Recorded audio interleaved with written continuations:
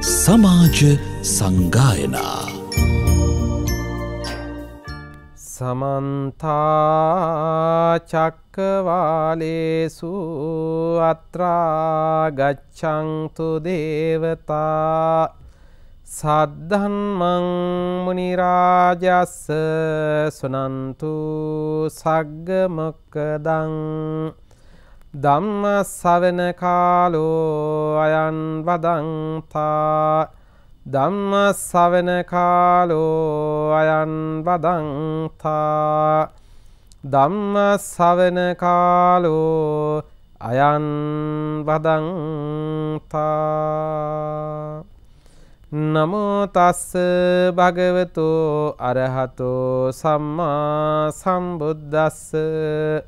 නමෝ තස්ස භගවතු අරහතෝ සම්මා සම්බුද්දස්ස. නමෝ තස්ස භගවතු අරහතෝ සම්මා සම්බුද්දස්ස. කටින දානං දත්වාන සංගේ ගුණ වරුත්තමේ. ඊතෝ තින්සේ මහා කප්පේ නාබිජානාමි දුග්ගතින්ති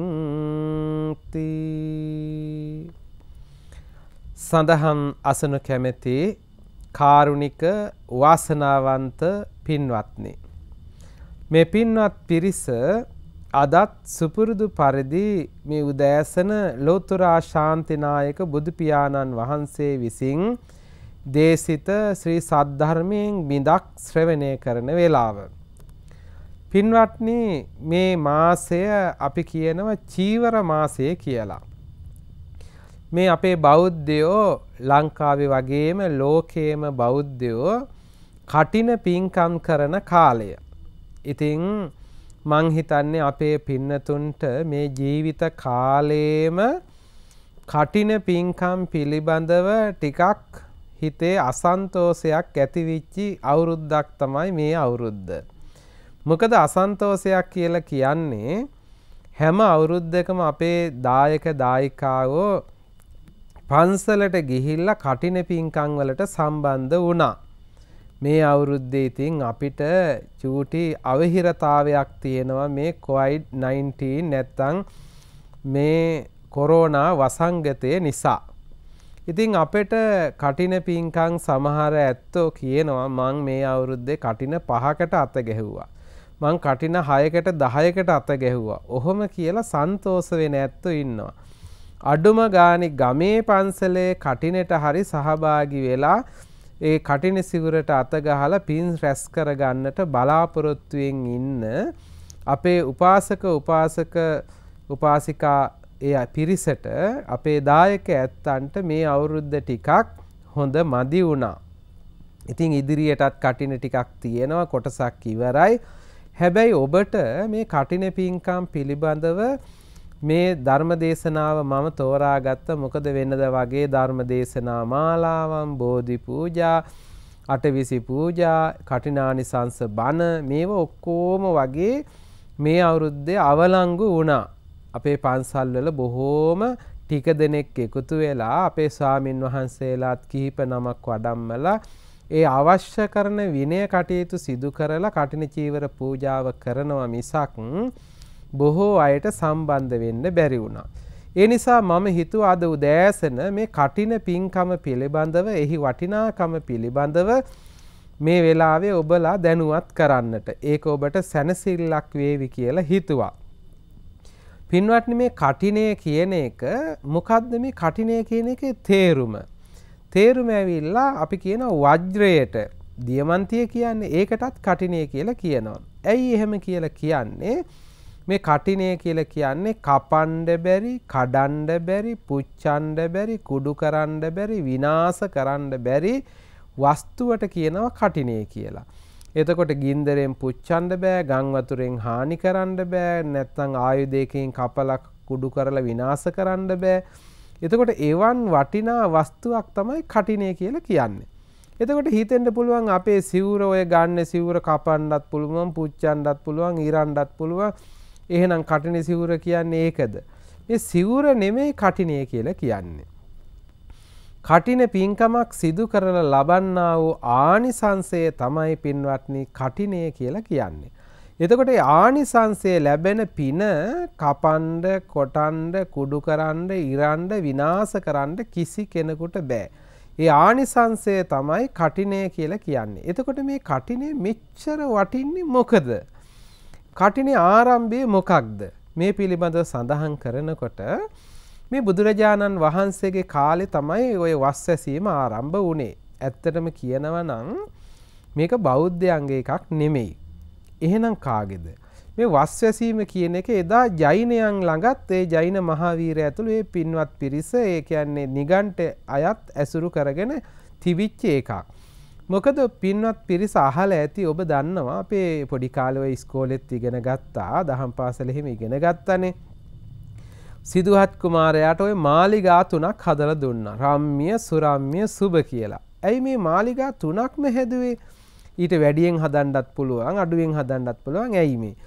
ඒ කාලෙ තිබුණු ඒ කාලගුණ දේශගුණ තත්ත්වයන්ට ඔරොත්තු දෙන විදිහට තමයි ඒව හැදුවේ. ඉන්දියාවේ එක කාලයක් තියෙනවා මේ වස් කාලය කියන්නේ වහින කාලය පින්වත්නි. වහින කාලෙට සීතල වැඩි හින්දා ඒ ගිනි මැල ගහලා රත් වෙන්න. ඉතින් අද නම් හීටින් කියලා මැෂින් එහෙම තියෙනවා. ඒ කාලේ නෑනේ. ඒ රත් වෙන විදිහට පහසුවෙන් ඉන්න එක ගොඩනැගිල්ලක් හැදුවා. තව කාලයක් තියෙනවා සීතල ඉවර වෙලා රස්නේනවා රස්නය ආපු කාලෙට ඉන්න බෑ දැන් අද නම් ඔය AC එකක් එහෙම දාගෙන ෆෑන් දාගෙන ඉන්නවා ඒ කාලෙත් අර සිදුහත් කුමාරයාට හදපු මාලිගාවෙලත් දිය තටාක හදලා දිය ඇලි හදලා නෙළුම් මල් හදලා ඒ සීතල රස්නේ කාලෙට ඒ රස්නේ නැති වෙන්න සීතල ඇති වෙන දේවල් වවලා තිබුණ ඒ පරිසරයක් හදලා තිබුණා. ওই දෙකටම අතරමැදි කාලෙට තමයි අනිත් කාලේ. එතකොට මේ වැහි කාලෙ කියන්නේ ඉන්දියාවේ තුන් මාසෙම වහිනව පින්වත්නි. මේ වැහි කාලෙට කුරුල්ලෝ පවා සතා සිව්පාව පවා කෑම හොයාගෙන යන්නෙත් නැතුව එක් තැනකට වෙලා ඉන්නවා.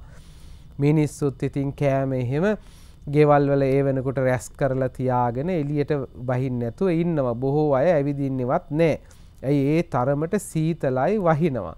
ඔය විදේශ රටවල අපි දන්නවා බටහිර රටවල එහෙම ඔය සීත කාලේ කියන්නේ වින්ට එක කියලා කියන්නේ. එතකොට ඒ කාලෙ වගේ දැන් ඉන්දියාවේ තිස් තද සීත කාලේ බුද්ධ ශ්‍රාවකයෝ ඒ කියන්නේ බුදු හාමුදුරන්ගේ ශ්‍රාවකයෝ හාමුදුරුවන් වහන්සේලා ඔහේ ඇවිදිනවා. ඔහේ ඇවිදිනවා කියන්නේ නිකන් නෙමෙයි. බුදු හාමුදුරන්ගේ අනුශාසනාව වනේ මොකක්ද? චරත වික්කවේ චාරිකම් බහුජන හිතාය බහුජන සුකාය එහෙනම් බොහෝ දෙනාට සුව පිණිස ධර්මචාරිකාවේ හැසිරෙන්නේ කිව්වා. අපේ හාමුදුරුවරු ධර්ම දේශනා කරමින් ගම් නියම් ගම් බලා ධර්මචාරිකාවේ වැඩම කරනවා. වැහි දවස්වලටත් ඉතින් ඇවිදිනකොට ඒ කාලේ නිගණ්ඨයෝ කියලා කියන්නේ ඔය මේ ජෛන මහාවීර ඇත්තෝ ඒ ඇත්තන්ගේ කට්ටිය විශ්වාස කරා මේ ගහකොළ වලට පවා පණ තියෙනවයි කියලා. ඒ ඇත්තෝ තනකොළ පෑගීමත් ප්‍රතික්ෂේප කරා ඒ කියන්නේ එතකොට වැස්ස වැහැලා මේ සීත කාලේ තනකොළ වැවිලා එනකොට අර ලාත තනකොළ පාගමින් එතකොට චූටි චූටි සත්තු ඔබ දන්නවා වහිනකොට උඩින් ගමන් කරනවා. ඉතින් සමහරලට සත්තුත් පෑගෙන්න පුළුවන්. මේ සත්තු මරාගෙන මේ බුද්ධ ශ්‍රාවකයෝ ඇවිදිනවා. ඒ කියන්නේ එතකොට බුදුහාමුදුරන්ගේ ගෝලයෝ පෞකාරයෝ කියලා දොස් කියන්න පටන් ගත්තා. එදත් හාමුදුරුවරුන්ට බණින ඇත්තු ඉඳලා තියෙනවා. අදත් ඔය ඉන්නේ ඉතින් ඒ කාලෙත් හිටියා. මෙහෙම බනිනකොට මොකද කරේ මේක බුදු හාමුදුරන්ට ආරංචි වුණා බුදු හාමුදුරුවෝ උන්වහන්සේ වස් වැසුවා ස්වාමීන් වහන්සේලා සමහර හාමුදුරුව වස් වැසුවා මේකේ නියමයක් තිබුණේ අනිවාර්යයෙන්ම උපසම්පදා හාමුදුරුවන් වහන්සේ නමක් වස් කාලය තුල වස්වසා වැඩ සිටිය යුතුයි කියලා විනය ශික්ෂා පදයක් පනවෙනවා. ඒ විදිහට තමයි පින්වත්නි වස් වැසීම කියන එක ආරම්භ වෙන්නේ. එතකොට දැන් අපි දන්නවා ලංකා විතරක් නෙමෙයි ලෝකෙම ඉන්න අපේ උපසම්පදා හාමුදුරුවරු සාමාන්‍යයෙන් ඇසල පෝයට තමයි වස් එළඹෙන්නේ. ඉතින් මේ අවුරුද්දේ පොඩි වෙනසක් තිබුණා. මොකද පෝය 13ක් ආවනේ. ඒ හින්දා පොඩි වෙනසක් වුණා. නැත්තම් ඇසල පෝයට වස් සමාදන් වෙලා මාස 3ක් උන්වහන්සේලා වස් වසා වැඩ ඉඳලා පවාරණය කරලා ඊට පස්සේ මාසයක් කටින පින්කම් කරනවා. දැන් ඉතින් මේ කටින පින්කම් කරන මාසෙට අපි කියනවා චීවර මාසය කියලා. ඉතින් අපි බැලුවම මේ බුදුහාඳුරන් කාලේ මේ වස් ඇසීම හා සම්බන්ධව කාරණා ගොඩාක් තියෙනවා. ඉතින් ඒ වගේ කීපයක් මේ වෙලාවේ හැටියට පැහැදිලි කරලා දෙන්නම්. මේ කටින සිවුර මෙච්චර වැදගත් වෙන්නේ ඇයිද කියන කාරණේ ගත්තම පින්වත්නි දැන් දැන් හාමුදුරුවන් වහන්සේලාට බුදුහාමුදුරු වස්වසන්ඩ අනුදැන වදාලාට තැනක් දේශනා කළේ නෑ. කොහෙද වස්වසන්නේ? ගෙදරක වෙන්නත් පුළුවන් පන්සලක වෙන්නත් පුළුවන්. ගෙදරකත් වස්වසන්න පුළුවන්ද? පුළුවන් පින්වත්නි. ඒ කාලේ දැන් සමහර දායක ඇත්තෝ අලුතින් ගයක් හැදුවම නැත්තම් සමහරලාට තියෙන ගෙදරම කාමරයක් වෙන් කරලා හාමුදුරුවන් වහන්සේට මොකද කළේ දැන් අපි හිතමුකෝ දැන් අද වුණත් සමහර පැතිවල අපි දන්නවා සමහර දායකයෝ ඒ ස්වාමින් වහන්සේලා gedara වස්වසා ගන්නවා. ඒතර gedara හාමුදුරු කෙනෙක් තියාගන්න එක හොඳද? වැරැද්දක් නෑ. ඉතින් උන්වහන්සේට වෙනම කාමරයක් වෙන් කරලා ඉතින් වැසිකිළියක් ඒ පෑන් පහසු වෙන්න අවශ්‍ය විදිහට නාන කාමරයක් හරි ඒ අවශ්‍ය පහසුකම් තියෙනවා නම් උන්වහන්සේ gedara වස්වසා වැඩ ඉන්නවා. එතකොට දායක ඇත්තෝ දායක ඇත්තොත් ඉතින් ගෙදරට වෙලා ඉන්න අතරේ උදේට දානි පූජ කරනවා දවල්ට දානි පූජ කරනවා ගිලම්පස පූජ කරනවා එතකොට බුදුන් වඳිනවා ධර්ම සාකච්ඡා කරනවා හරියට ගෙදරත් පන්සලක් වගේමයි එතකොට පන්සලේ වස්සසන එක නම් ඉතින් ලොකු අමුත්තක් නෑ එතකොට දැන් මේ ගෙවල් වල වස්සසා වැඩ ඉන්න එකත් ඒකත් වටිනවා එතකොට සමහර ඇත්තෝ ඒ ගෙදර ඇත්තෝ සමහරලාට අටසී සමාදන් වෙලා දසසී සමාදන් වෙලා ඒ ඇත්තොත් වස් කාලය තුල ඒ සී සමාදන් වෙලා ඉන්නවා. එතකොට ගිහි ඇත්තන්ටත් පින් සිද්ධ වෙනවා. එතකොට හාමුදුරුවන්ටත් පින් සිද්ධ වෙනවා. කටින පින්කම කියන්නේ මේ වස් කාලේ කියලා කියන්නේ පින්වත්නි මේ බුද්ධ ශාසනේ වැඩියෙන්ම සෝවාන් නුන වැඩියෙන්ම සකදාගාමි වුණ වැඩියෙන්ම අනාගාමී වුණ වැඩියෙන්ම රහතන් වහන්සේලා පහළ වුණ කාලය තමයි මේ වස් කාලය කියලා කියන්නේ. ඒ තරම් පින්වන්ත කාලයක් තමයි වස් කාලය. දැන් අදත් අපේ දායකයන්ගේ විශ්වාසයක් තියෙනවා මේ වස් කාලය තුල ගිලම්පස ටිකක් හරි දානේ හරි දුන්නොත් වැඩියෙන් පින් සිද්ධ වෙනවයි කියලා. ඒකේ ඇත්තක් තියෙනවද? තියෙනවා. ඇයි පින්වත්නි? ඔබ දන්නවා දාන එක ඕනම පින්කමක ආනිසංස වැඩි වෙන්න නම් සිල්වත්ව ඉඳගෙන සිල්වතුන්ට දෙන දාණය මහත්ඵලයි මහානිසංසයි.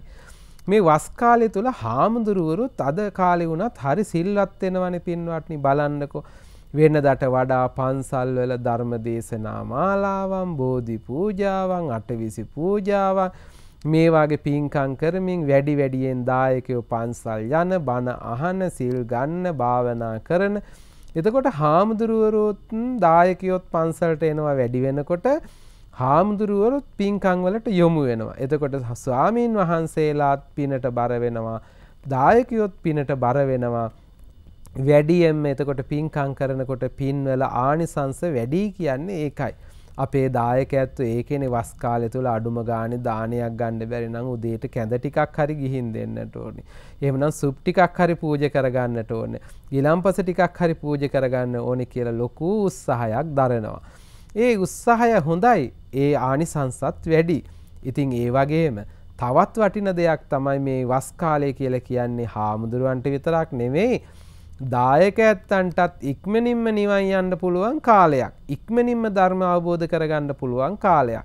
අපේ බණපොතේ තියෙනවා මේ දායක ඇත්තොත් හාමුදුරුවන්ට ඉස්සෙල්ලා සමහරලාට ධර්ම අවබෝධය ලබාගෙන තියෙනවා. ඒත් ඔය එක්තරා වස් කාලෙක ඔබ අහලත් ඇති සමහරලාට මේ කතාව මාතික මාතා කියන උපාසකම්මා.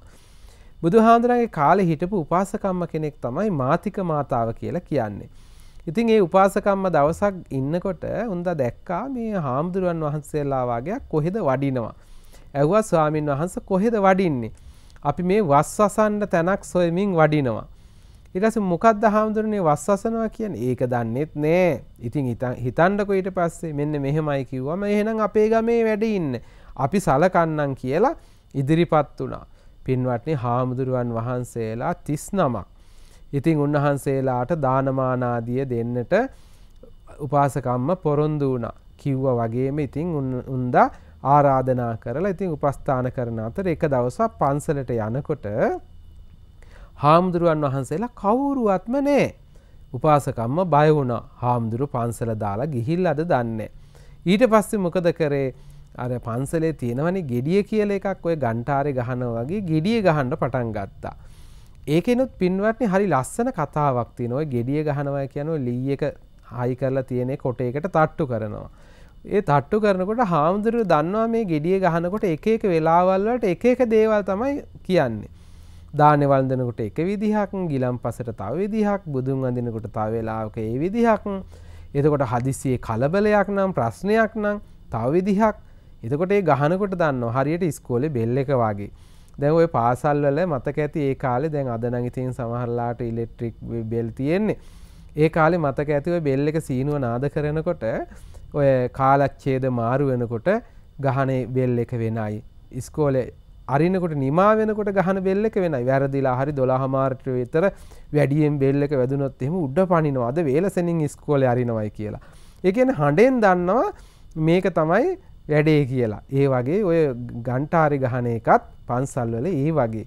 නිකං ගහන වගේ නෙමෙයි gediya ගහන එකත් ඒ වගේ. ඉතින් කලබලයක් වුණාම හාමුදුරුවන් වහන්සේලා gediya ගැහුවම ඔන්න උන්වහන්සේලා වැඩම කළා. ඔක්කොම හාමුදුරුවරු වැඩියා. ඔක්කොම ටික වැඩම කරලා දැන් ඉන්නවා. දැන් කවුරුත් කාත් එක්කවත් හාමුදුරුවරු කතා කරන්නේ නැහැ. වටපිට බැලුවා කවුරුත් කතාවක් නැහැ. උපාසකම්ම හාමුදුරුවන්ට බණ කියන්න පටන් ගත්තා. අනේ හාමුදුරනේ ඔහොම තරහ වෙලා ඉන්න එපා. ඒක හොඳ නෑනේ. හාමුදුරුවෝ සමගියෙන් ඉන්න එපායි. කතා බහ කරලා ඉන්න එපායි කියලා මෙහෙම කියනවා. උපාසකම්ම දන්නේ නැතුව. හාමුදුරුවන් වහන්සේලා කිව්වා උපාසකම්ම අපි තරහ වෙලා නෑ. එහෙනම් හාමුදුරුවෝ කතා නොකර ඉන්නේ. ආ අපි භාවනා කරන නිසා අපි කතා කරන්නේ නෑ. අනේ හාමුදුරනේ මොකද්ද ඔය භාවනාව කියන්නේ? මටත් කියලා දෙන්නකෝ. උපාසකම්ම ඉල්ලීමක් කළා. උපාසකම්මගේ ඉල්ලීම නිසා උපාසකම්මට භාවනා කරන හැටි කියලා දුන්නා. හරි පුදුමයි කියලා කියන්නේ පින්වත්නි. ටික දවසක් භාවනා කරගෙන යනකොට හාමුදුරුවන්ටත් ඉස්සෙල්ලා උපාසකම්ම අනාගාමි වුණා. හිතන්නකෝ අනුන්ගේ හිත් බලන්නත් පුළුවන් ආකාරයට තමයි අනාගාමි වුණේ. ඊට පස්සේ උපාසකම්ම බලනවා හාමුදුරුවරු කොහොමද දන්නේ දැන් රහත් වෙලා දන්නේ. අනේ බැලුවම එක ස්වාමීන් වහන්සේ නමක්වත් අඩුම ගානේ සෝවාන්වත් වෙලා නැහැ.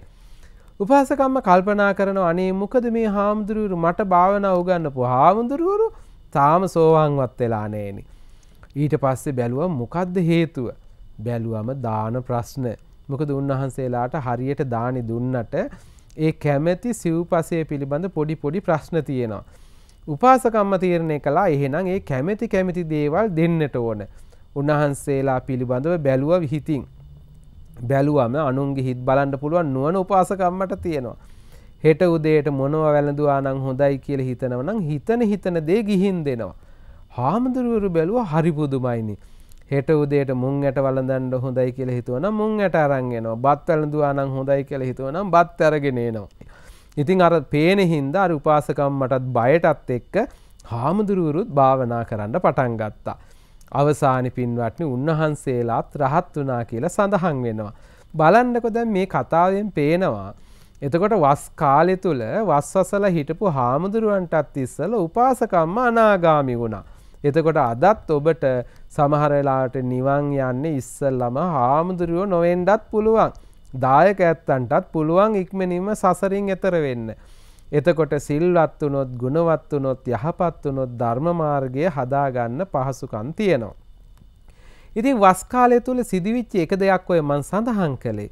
එතකොට ඔය ඇත්තෝ වස් ආරාධනා කරනකොට හාමුදුරුවන්ට ආරාධනා කරනවා ස්වාමින් වහන්සේ වස් කාලය තුල වැඩ ඉන්න අපි ඔබ වහන්සේලාට චීවර පිණ්ඩපාත සේනාසන ගිලාන ප්‍රත්‍ය යන සිව්පසයෙන් උපස්ථාන කරනවා කියලා පොරොන්දුවක් වෙනවා. එතකොට මේ චීවර පිණ්ඩපාත සේනාසන ගිලාන ප්‍රත්‍ය කියන්නේ එකෙන් කියනවා චීවර කියන්නේ සිවුරු. සිවුර පූජා කරන්නේ අපි අවසානටම තමයි සිවුර පූජ කරන්නේ. ඒකට කියන්නේ කටින සිවුර කියලානේ. එතකොට පිණ්ඩපාත. පිණ්ඩපාත කියන්නේ දාණය.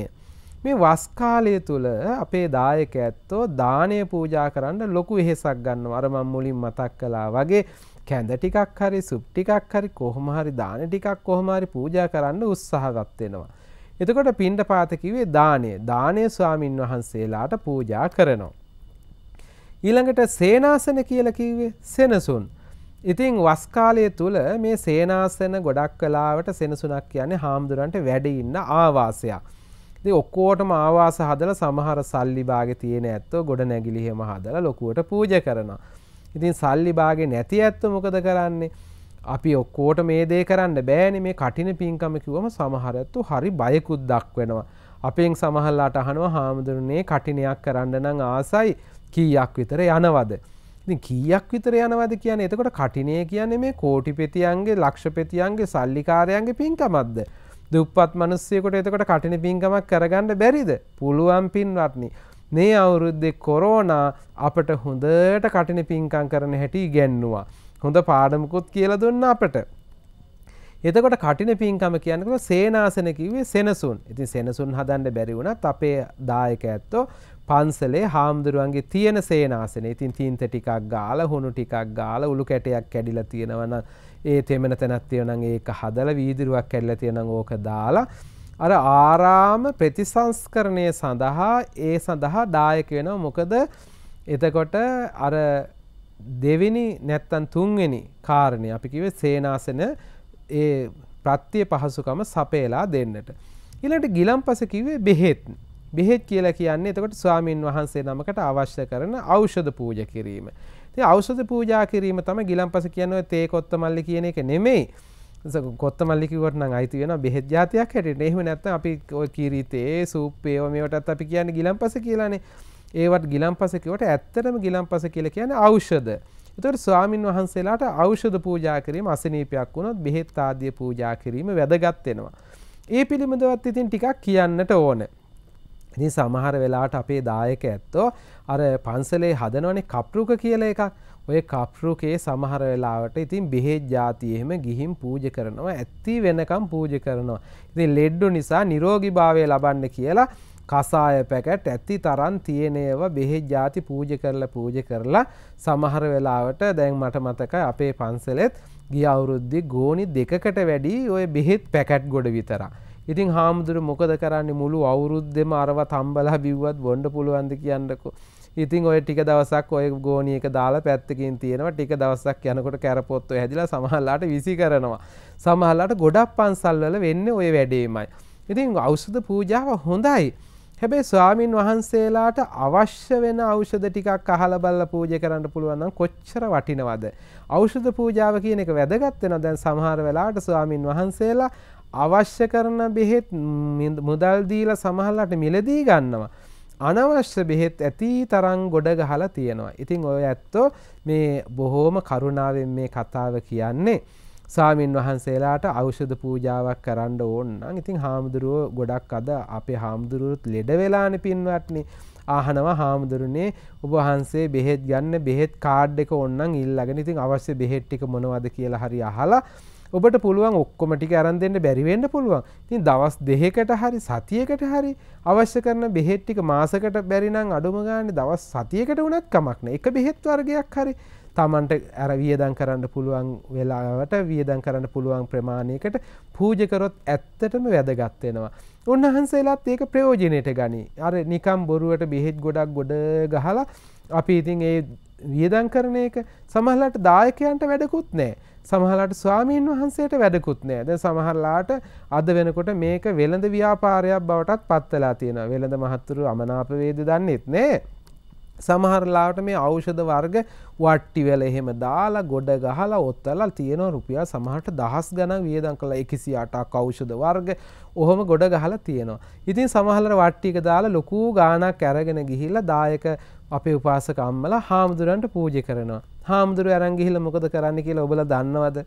කුණු බක්කියට දානවා. තරහ වෙන්න එපා. ඇත්තටම කරන්න දෙයක් නෑ. සමහරලාට අර 108ක් බෙහෙත් වර්ග මොන මොනව තම්බන්නද කොහොම බොන්නද එහෙම හිතා ගන්නත් බෑනේ. ඉතින් පන්සලේ ගොඩ ගහගෙන ඉන්නත් බෑ. ඉතින් විසි කරන එක තමයි කරන්නේ. සමහරලාටින් දායක ඇත්තන්ට පූජා කරපු එක්කනට පිනස් සිද්ධ වෙන සතුටින් පූජා කරාට.